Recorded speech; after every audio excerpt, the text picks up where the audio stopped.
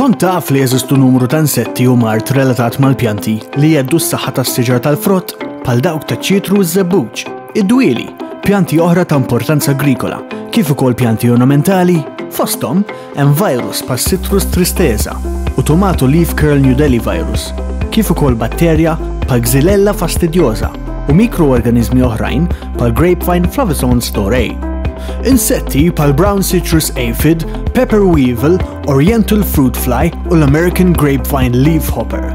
Fost l-insetti wieħed jista' jiltaqa' wkoll mal-ħanfus ta' run twil pas citrus Asian u red-necked long-horned beetles, kif ukoll ħanfus oħrajn pal black twig borer u l-Japanese beetle. Dawn jistgħu jagħmlu ħafna ħsara lill-pjanti tagħna. Jekk inti tinnota xi insetti jew mart, informa lid-Direttorat għal Ħarsin tal-Pjanti mill-ewwel. Flimkien, nistgħu nipproteġu l-ħajja tal-pjanti Maltin.